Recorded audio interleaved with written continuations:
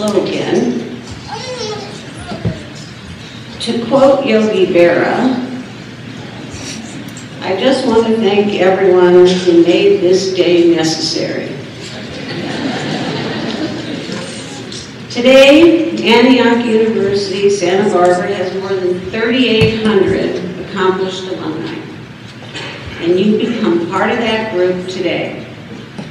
I hope you will be, you will continue to be a member of the Antioch family through involvement in the Alumni Association. I am sure you are experiencing a great deal of emotion today. You are likely exhausted and exhilarated. You may be reviewing the journey that brought you to this moment. Like students before you, you did not come to Antioch to be transformed by your education. Instead, you probably came to Antioch because you wanted to make a difference. I had the opportunity to talk to many of our alumni, and they tell me that they were indeed transformed by their Antioch education. What a wonderful legacy. The Antioch experience has uniquely and consistently given our students a chance to transform themselves and go out into the community and enter professions and careers that all allow them to make a difference and, and live lives of purpose. We, the Board of Trustees, the faculty, the staff, and the administration are proud of the accomplishments you celebrate today. And we know that you have made many sacrifices to get here. Many of you were required to take out loans to complete the degrees you received today. Some of you are the first in your extended family to receive an undergraduate or graduate degree.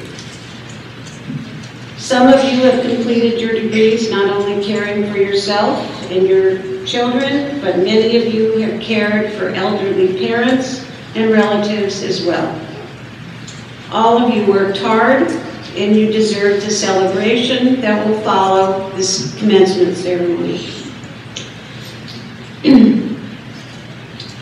the faculty, staff, and administration of Antioch University, Santa Barbara are all gathered today to honor you.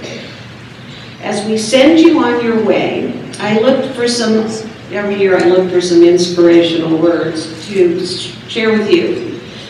I did what you are probably doing today. I thought back when I started college, and actually further, because when I look back to my own experience, I think about something my high school counselor once told me. Now, I've told this story before, and um, I was told afterwards that the story was an important one and that I should tell it again. So here I am recycling this story. Um, so if you've heard it before, I'm sorry. um, let me preface this by letting you, by telling you that I grew up in the 1950s and 60s, a very different time, and it was a different time for women. My mother was a high school physiology teacher, and at that time it was a rather unique role for a woman. Women were teachers, of course, but they were not science and math teachers.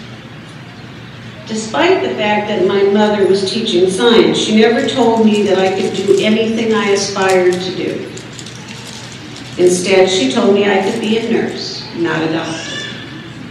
She told me I could be a teacher, but the only reason to become a teacher was to, like her, have something to fall back on. Instead, she told me that I would marry my future, not make it. But back to my high school guidance counselor and what he told me and what I remember as if it was yesterday. He said I was not college material.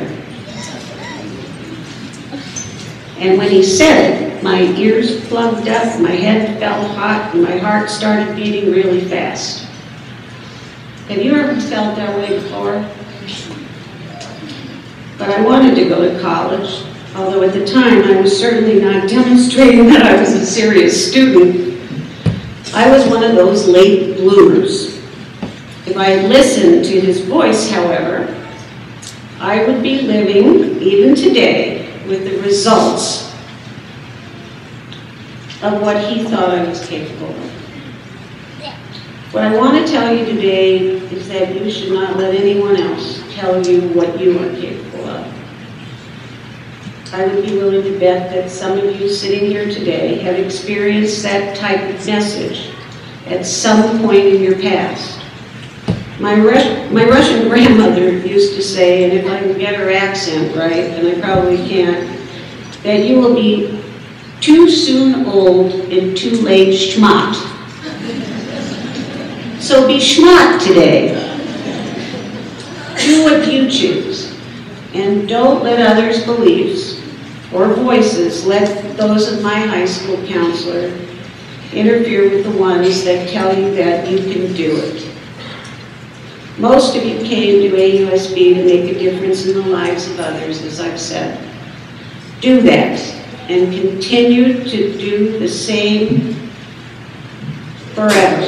Follow your own dreams, your own aspirations.